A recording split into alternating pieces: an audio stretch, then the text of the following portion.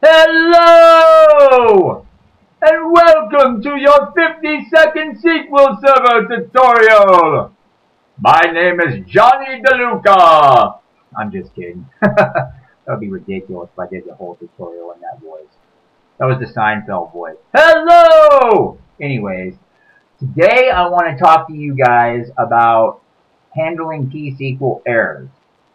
So, as with basically any programming language, T-SQL provides methods for handling errors and exceptions during execution. T-SQL uses the try and the catch, which is similar to Microsoft Visual C Sharp, for those of you who are familiar with C Sharp. Now, when writing T-SQL, you wrap the code in the try block, and if an error occurs, the control is sent to the catch block. Within the catch block, you should enclose T-SQL code that will handle the errors. The following is the try-catch syntax. We see right here. This is the try-catch syntax. Now, SQL underscore statement, seen right here, is any single T-SQL statement. And right to the right of it here, statement underscore block is any set or batch of T-SQL statements. This applies both to the try and catch block. The try and catch blocks must be constructed together. Uh, finally, in SQL Server 2012, Microsoft has introduced the throw statement, which raises an exception and transfers execution to a catch blocks, uh, block.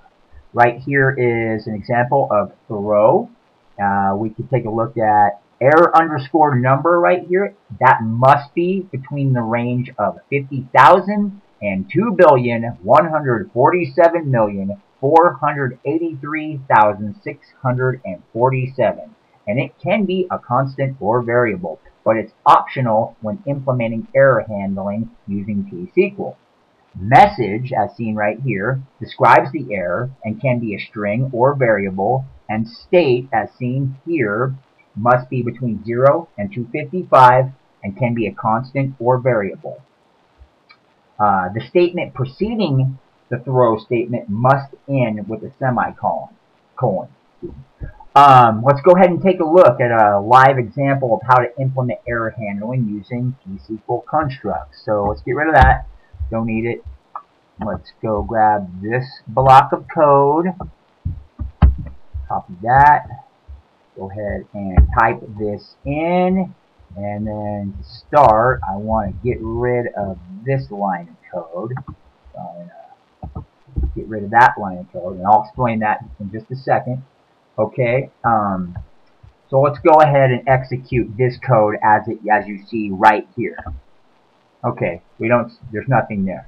So notice that the query returned an empty set, but more important, it did not return an error. Instead of returning an error, the catch block consumes the error. Okay, so now let's go ahead and get rid of, let's just put the throw in. Okay, get rid of that. Now let's see what happens. Let's go ahead and execute. Oh, okay, divided by zero, error uh, encountered. So adding the throw statement to the catch block forces the client to display the error message. The throw returns more accurate results and in most cases provides the developer with enough info to effectively handle the error. And if you want to customize the error that will be provided by SQL Server, you can just replace the throw statement that we see right here, this guy, with what I had originally. Let's go ahead and, okay, so now what happens when I go ahead and execute it?